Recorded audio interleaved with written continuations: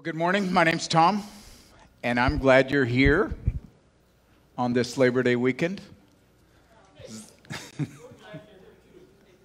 Thank you. Thank you, Jeff. So, last week, after service, I go out to lunch with my wife, which I normally do on Sundays anyway, and, and I, some, some days, some Sundays uh, more than others, but I kind of debrief the message and use her as a sounding board if I, you know, oh, I forgot to tell him the secret of life, uh, you know, those kind of things. And last week I was doing that, and, and what I was wrestling with was man, that message was just so simple. Just, I mean, what was the big idea, you ask? Oh, yeah, love, love like Jesus loved. I mean, how many times have we heard that in church? You know, love God, love people, or, or what would Jesus do? Last week, the, the question that we're supposed to ask ourselves when we live life is what would, what would love do? And it's such a simple message that I was wrestling with that, that maybe some of us walked away from service on Sunday and I'd be like, well, why doesn't he tell me something I don't already know? And it's simple you know, you guys love, love people, love God, love people, but at the same time, it's, it's hard. It, because we do come into the, this world, as Pastor Andrew was saying, we come into this world selfish. And, and so, what we've been learning as we receive the Holy Spirit, as we walk with the Holy Spirit, we're no longer inward focused, but we become outward focused. We become otherly focused, is what we're what we're trying to have happen in this in this life that we're living. And so we gather on Sundays, we come together expecting the Holy Spirit to do something special. And at the same time, we, we should also expect that maybe the Holy Spirit wants to do something through us for other people. We had two two people that gave a prophetic word this morning. So the Holy Spirit tapped them on the shoulder and said, I'm going to give you a word, but I want you to share it with everyone. Well, that might happen. That might happen to you during a Sunday morning. And what a safe, safe place. This is a safe place for us to kind of step out and try these things. And you know, we and we love each other and and and we help each other grow. Would you agree this is a safe place? Amen. If you don't think so, just get out of here because we're, this is an angry place all of a sudden. No, it's not angry. Okay, so that brings us to, that brings us to our text this morning in 1 Corinthians chapter 14.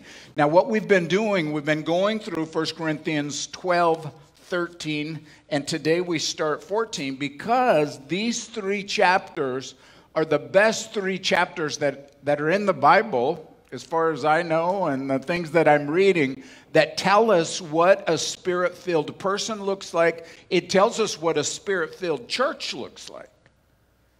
And so we've just been going through this because we want to be that kind of church. We want to be a we want to be a spirit filled church and we want to do the things that we're supposed to do as this is God's original plan that his Holy Spirit would live live in us and, and work through us. So, 1 Corinthians 14, starting at verse 1, says, Pursue love and desire special gifts, but especially that you prophesy. For he who speaks with tongues does not speak to men, but to God.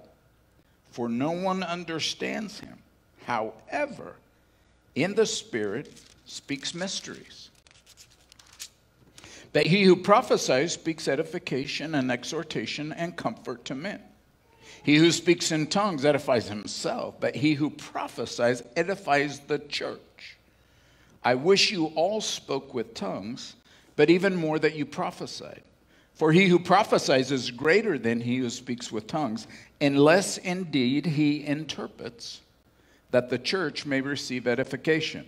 But now, brethren, if I come to you speaking in tongues, what shall I profit you unless I speak to you either by revelation? By knowledge, by prophecy, or by teaching.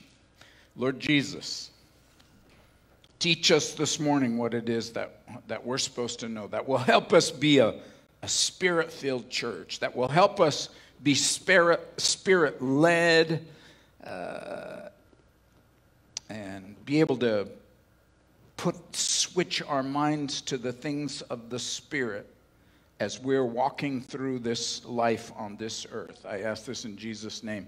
Amen. Okay, so where do I start? Well, I'd like to start where I ended last week. I don't know if you were here or not last week, but in last week's message, Paul said, okay, where there, where there are tongues, where there are prophecies, where there are words of knowledge, they're going to stop. They're going to cease. And, and then in this passage of scripture that I just read to you, it, it told us to pursue love and desire spiritual gifts, especially prophecy. Wait a second. You know what's going Well, Paul is telling us that even though prophecies, tongues, knowledge will cease in the next age, we talked about that last, that last week, in the millennial age, they will cease. We're to continue to desire them in this age. He's, he's making that real clear to us. Now, I tried to get us some revelation on those two words pursue and desire. Pursue love, desire spiritual gifts. The best I could do, the word pursue love, pursue is, is more of an outward uh, action or moving physically or following it. That word, to, uh, you know, as I looked at the Greek and and looked at Blue Letter Bible, what it, what it was talking about that word seemed more outward actionish. Pursue love. So, you know, if somebody's cold and hungry, for you to say, oh, be warmed and filled and keep on walking wouldn't be love. But if, if we're pursuing love, we give them some food and a blanket. Okay, it's in action. And, and then uh, desire spiritual gifts, that one is a, seems to be more of an internal internal motivation to desire. One of the words that, that were given to describe this is to envy. Envy, uh, envy spiritual gifts. And so there you go. That's the best I could do. Uh, but then the, the, the last part of that first sentence is that we are to especially, especially pursue, especially desire prophecy. Now, this is something, in case you don't know, this is something that's talked about in the Old Testament that's coming. Moses hinted to it. He's, he says that uh, all the Lord's people were prophets. Are you zealous for my sake? Oh, or that all the, uh, the people uh, were prophets and the Lord would put his spirit on them. This is Moses kind of hinting at a time in history this is going to happen. And then in, in the book of Joel, Joel 2 28 and 29, he comes right out and prophesies exactly that the Spirit of the Lord is going to be on all flesh, and your sons and your daughters will prophesy. Now, this is 900 years before the day of Pentecost, give or take 100 years. And so, and so I'm going to go ahead and read all of what Peter says on the day of Pentecost because he's just repeating Joel. And this is what this is what Peter says when the Holy Spirit finally arrives and rests on all people. He says, But this is what was spoken by the prophet Joel, and it shall come to pass in the last days, says God, I will pour out my spirit on all flesh, and your sons and daughters shall prophesy. Your young men shall see visions, your old men dream dreams, and on my men servants and on my maid servants. I will pour out my spirit in those days, and they shall prophesy. That's the, that's the age we're living in right now. We, we're in the age, so at, at Pentecost, we talked about that many weeks ago. That was the ending of the old covenant and the beginning of the new covenant. And we could look at we could we could look at it, the Old Testament, the Bible. In the Bible, there's the Old Testament and the New Testament. There's the Old Covenant and the New Covenant. And if we're not, if we don't remember that what has taken place because of this new covenant, then we will we will gravitate in our thinking toward the old covenant. And in the old covenant, there were a few prophets that could hear from the Lord, and then they would talk to the masses. That's the way that it was in the Old Covenant. We don't live in the Old Covenant, we live in the New Covenant because Jesus Christ left heaven, came to earth, was crucified on the cross, shed his blood to pay the penalty for our sins, died, was put in a grave for three days. He rose on the third day. He's alive. He has power over sin and death. He has risen. And so, because of what he's done, those that place their trust in him now have the Holy Spirit. And so they too can prophesy. In the new covenant, all Christians can prophesy. Go ahead and turn to the person sitting next to you and say, Prophesy, prophet. now, let's not go by that too quickly. Do you believe that? Do you believe that all Christians can prophesy? Or just Pastor Tammy and Sandy? Yeah. If, if all Christians have the Holy Spirit, then all, all Christians can prophesy. Now, I know in this passage of Scripture, it talks about speaking in tongues, and I hate to just skip right, I hate to skip over that because I wished you all spoke in tongues. And, and uh, um, says that in there, which is to infer that we all can speak in tongues, in my opinion. But the focus this morning is on this idea of prophecy. So we're going to just skip to verse 3 there. It says, But he who prophesies speaks edification, exhortation, and comfort to men. now, my guess is many, I don't know about many, especially first service. I mean, you guys got up early, came to church. But some, we'll say some, but probably many people, when you, when you say when you talk about prophecy or when you talk about a prophet, they're going to think, oh, somebody that tells something that's going to happen in the future. You know, like a fortune teller. Oh, that's what a prophet is, a pro- fortune teller. Now, this verse I just read said, But he who prophesies speaks edification, exhortation, and comfort. Now, in the, in the New Covenant or in the New Testament, in the New, New Covenant, there are if the Holy Spirit, the Holy Spirit can't tell us something that's coming in the future. And, and, and we can, we can say that. But most of the time, New Testament, when I say everyone can prophesy, I'm talking about most of the time it's going to be edification, exhortation, and comfort. And sometimes those, those come in different, in different ways that may be a foretelling of the future in a general type way. Tammy told me the other night she was at, um, she was working late because they have the, the, kids come back to school. She works for the West Valley School District, so she was there late. And the janitor showed up and, and he starts janitoring, and it's a word. and uh, so he asked Tammy, how, how come you're here so late? And she's like, Well, it's the beginning of school. I've got a lot of, a lot of forms, a lot of stuff I got to get done. And so, so he said, um, to her, You're the right person for the job. Now, beforehand, she was frustrated and tired because something wasn't coming, and he said, You're the right person for the job. Now, I don't know if he's a Christian. I don't know if that's a prophecy or not, but let me tell you, it was. It was edifying. Edify means the, is the act of building or to build up. Exhorting, urge one to use some course of conduct, exhortation. And then comfort means you know, we all know what comfort is or, or encourage.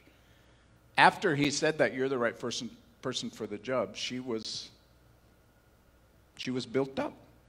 She was edified. And she was comforted. I, uh, I've received a, a lot of prophecies, some, some more formal than others. Some, some come to me and people will say, The Lord told me to tell you type thing. That's what I mean by more formal. but often, it, it, you know, you might not even think of it as a prophecy. You might just think of it as, a, as an encouraging thing. Diane Norman, many of you know Diane Norman. She passed away a couple months ago or so, maybe a month ago. But she would, she it seemed like she would always text me or, or uh, call me or shoot me an email or something and communicate something that was an encouraging you know, uh, something, you know, just simple like, you know, the, uh, you're going to make it, you know, God's given you what, uh, the giftings that you need to be the great pastor that you are. Something like that. So some of the times we might be thinking that we're just really a nice person to say nice things to people. But when we dig a little bit deeper, that could be the Holy Spirit inside of us directing to, us to say something to somebody that's encouraging and edifying them. There was one time I was, I think it was my first or second night as a youth, as uh, the, one of the youth leaders. So I wasn't the youth pastor guy, I was one of the youth leaders. And this particular night, they had a guest speaker in, and this guy was, uh, this guy was really good at uh, prophesying. So, in the scripture that I read this morning, I want us to know all Christians can prophesy. And then there's, there's a, a spirit of prophecy comes upon us. There's a mantle of prof. You know, there's like the fivefold ministry talks about one of those is the prophet. That so uh, there's we'll say there's different levels. Well, this guy was pretty good at prophesying, right? So uh, he taught for a little bit, and then he said, If you want to get a prophetic word, stand up. So about half the people stood up, and then Reagan Couch, the youth pastor, was like, Everybody stand up. You're all getting a word. now, if you know Reagan, you know exactly that's just the guy he was. You're all getting a word. so this guy just started going right around in, in an order. I was about the fourth guy. He got to me. You know, my heart's, I'm a little bit nervous. You know, what's he going to say? And, and he said, he, he said uh, in Isaiah 54 2, it talks about expanding the tent stakes and, and expanding, uh, as you expand the tent stakes, you in, uh, make the tent larger. And, and it says in that same passage of Scripture, don't, don't hold back um, because as you expand your tent stakes, God's going to meet you where you are, give you the capacity. So then he asked me, Are you starting a new ministry? I'm like, Yeah, this is my first night in, in youth ministry as a youth leader. He was like, Oh, well, there you go. And so, so that felt pretty good. You know, God was going to increase my capacity. And he went and he prophesied over a couple other people, students there. And then he came back to me. And he said, The, uh, the Lord just told me that you're going to have a hard year. And, but I want you to know, the, or the Lord wants you to know that He's with you and He's going to comfort you. He wants you to know that other people are going to look to you for, for comfort and encouragement. And, and so just remember that. I was like, well, that one didn't feel as good as the tent stake one. So, about two weeks later, less than a month later, my sister got in a car accident. A drunk driver um, hit her broadside on the, you know, right on the door that she was, and she died. And that was a very hard year. I'd never grieved the loss of somebody that close before. And so, um, so that was, that was a very, very hard year. And, but going through that year, I remember thinking, the Lord told me that was going to happen before it happened through that, through that guy.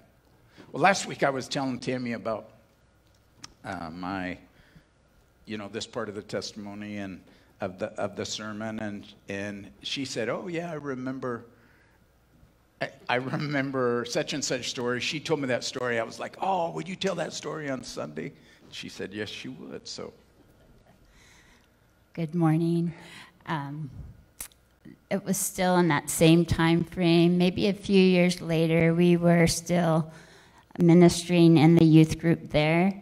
And thinking about that this morning, I'm like, wow, can you imagine I was ever in a youth group? I mean, look at us. We don't look like we could have ever been in a youth group ministering, but we were. And it was really a special time, a healing time for me. Um, just a little backstory is um, I've always dealt with depression, and I feel like that's a generational thing. I can see that coming down through my family line that we've really struggled with depression and um, I see that it really tried to take hold when I was even 12, but I didn't know, I didn't have the wisdom to know that it was the lie of the enemy um, that really to take my own life. I dealt with a spirit of suicide, and even as an 18 year old, and you would look at me from the outside, well, she's pretty, she's smart, she's getting married to the hot football player. You know, she shouldn't be depressed or want to die. But I really feel like it was a spirit, but I didn't know what I was dealing with. And as I got into my 20s, I went through counseling, I took antidepressants, and I feel like those were good things, uh, were God given things for my maturity level at that time in my life. But I feel like God um, allowed those things not to work any longer for me. And so um, I was really seeking Him in His Word, renewing my mind through the Word of God. And then around early 30s, we had went to a youth conference.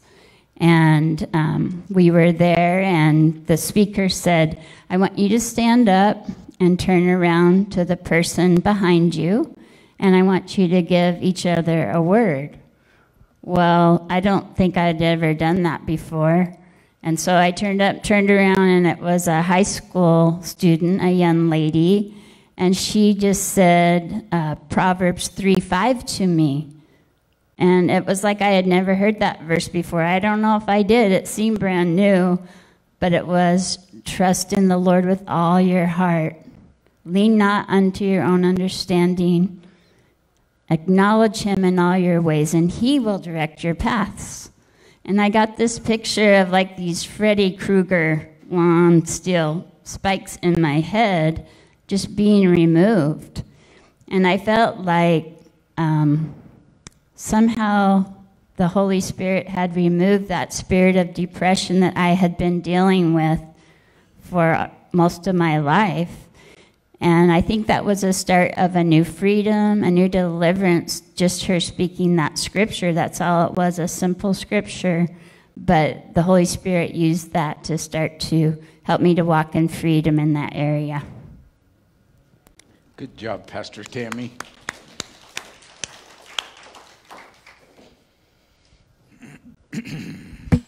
there, there are some things that we need to learn. I'm going to just whip through these real quickly as we're learning to prophesy, and all Christians can prophesy, right? Okay. Uh, one of the things we need to know the character of God. So we learn the character of God. That will help us identify. The next one is learn the voice of God. If we know the character of God, something comes to our mind, we'll, we'll know his voice.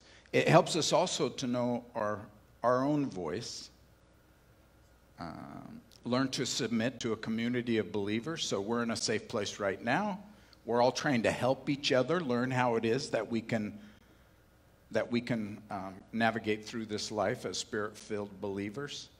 So uh, commit to a community of believers. Learn to recognize what God is doing in a service. That becomes important to us as we are trying to step out in faith. Learn to ask whether the word is meant just for you. So, so, hopefully, every worship service that we have, every church service that we have, at some point, you, you know, a light's going to go off in your head, and you're going to be like, that was for me. Maybe a lyric of a song, maybe Pastor Andrew casting vision, receiving the offering, his talk, maybe, you know, bam, that's from, or maybe within this sermon, or maybe within a verse, or maybe what the greeter said to you when, when you came in, or uh, maybe as you're um, going out. Somewhere, at some point in the service, we should all get something from the Lord. um, and when we get something, then we have to say, Lord, is this just for me? Or is this for the whole congregation? And, and so, uh, like this morning, the two gals that gave uh, prophetic words this morning, they were convinced that that was for the whole congregation. And then learn when to stop. Uh, you know, so if, if you have something for the whole church, just give us what the Lord gave you and, and don't continue to ramble. Amen. and then the last one learn to be very careful about directive prophecies. Would have a really hard time telling somebody, yep, you're supposed to buy that house. Yeah. So, I mean, you got to make sure. Um, uh, you got to make sure the Lord is telling you something. Okay. Do y'all believe? Do y'all believe that Christians, all Christians, can prophesy? Could I get you to all stand to your feet? and I want you to turn around and turn around and get a find a partner. Now you can you can have a partner as your spouse, but then BJ, when you tell her the Lord's saying that the Lord's telling you for her to be nicer to her husband, she's going to be a little suspect about that. So, if you want to find uh, somebody that you don't know, this is what we're going to do. And some of you right now, you're like, oh, should have stayed home and watched the Seahawks. and that's, hey, that's okay. This is a safe place, and we're just, we're stepping out in faith. This is a safe place. What, I, what we're going to do, we're just going to have a, maybe 20, 15 seconds where you're just going to quiet yourself and allow the Lord to drop a, a thought, a word, a sentence, a scripture verse, um, drops something in your mind, and then after that 20 seconds, then you're going to tell that other person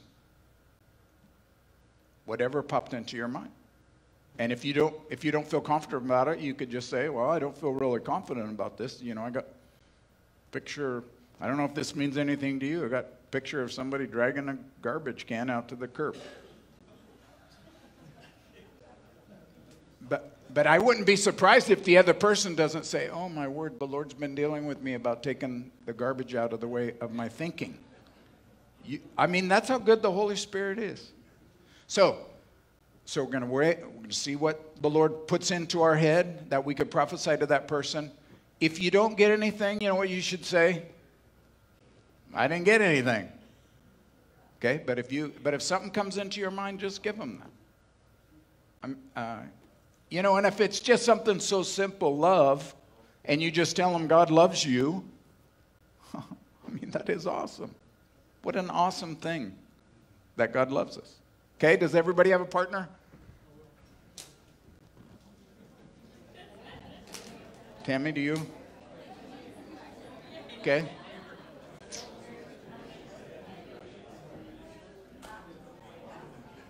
Okay, everybody has a partner. There's four of you back there at the prophesy over each other. Okay, here we go. Let's let's do this. We're gonna we're just gonna have about 20 seconds. Okay, you guys are talking a lot already, and I'm I'm a little disappointed. Do we have a blowhorn sound or something? Hooty hoo, hooty hoo, look at me. Okay, stop talking. Stop talking. We're gonna just 20, 15 seconds.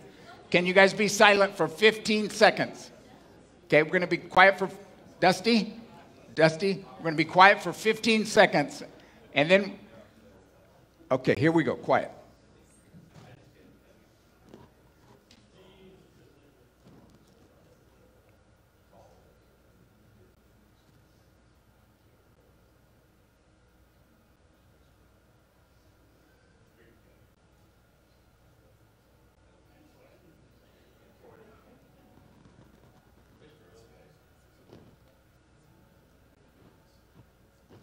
Okay, you can go ahead now and share if you got anything to that other person.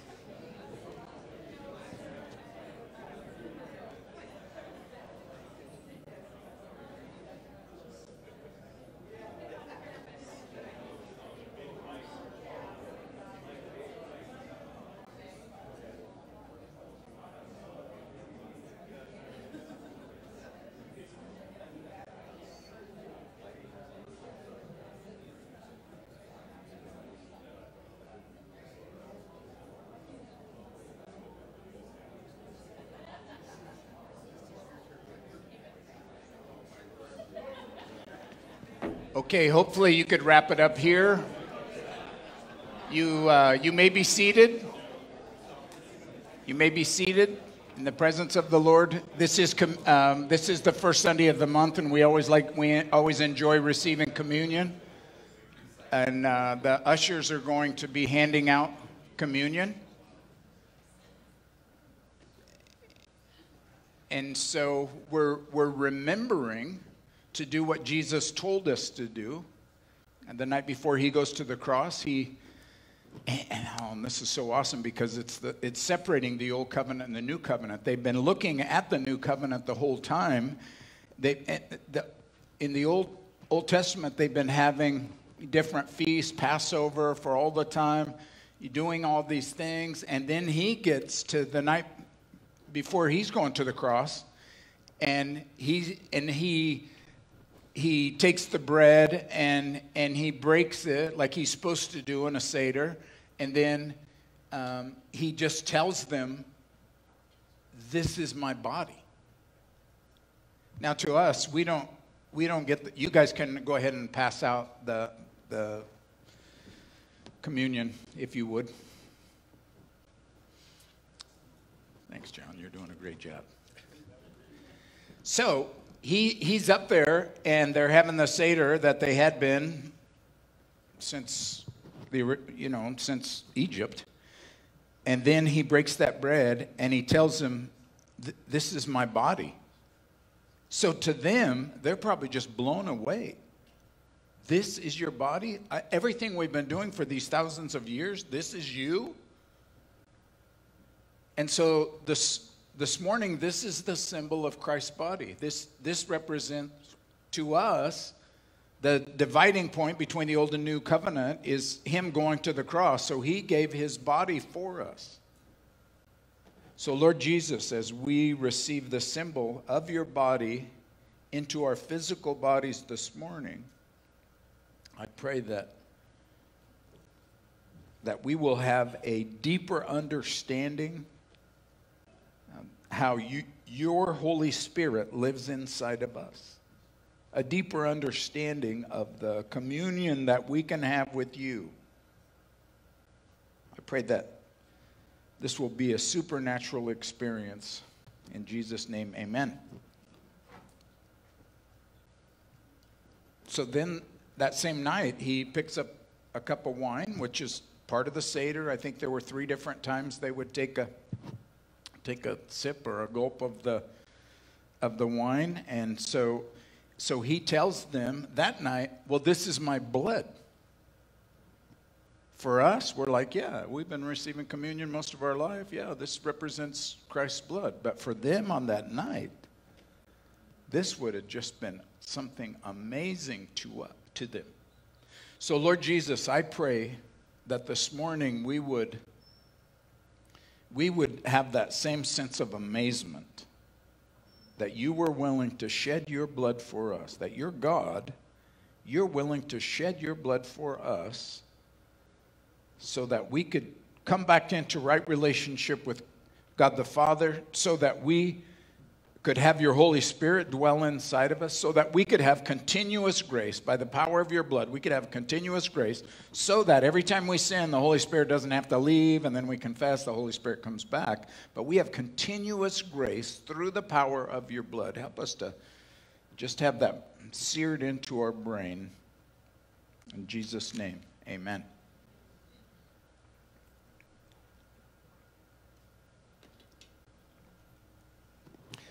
I'm curious, how many of you during the exercise where you prophesied over somebody said, Yeah, something fell into my mind and I gave it to them? How many of you? Okay, good, good. I would encourage you this week to, as you're going to school or going to work or uh, around the house or in the store or at the coffee shop or wherever, be attentive to that. The Holy Spirit is going to drop work, you know, like the janitor. The, you, the Holy Spirit is going to drop words into your mind for you to give to those people, to prophesy over them, to edify them, to exhort them. and to comfort them. Okay? Stand with me, please. I pray that the Lord will bless you and keep you. The Lord will make his face to shine upon you and be gracious to you. And he'll lift up the light of his countenance upon you and give you shalom, shalom. There'll be somebody up front that wants to prophesy over you. If you need prayer, also, they'll also pray for you. But I encourage you to come forward and we will agree with you in prayer and watch miracles happen. God bless you. We will see you next week. Go Hawks.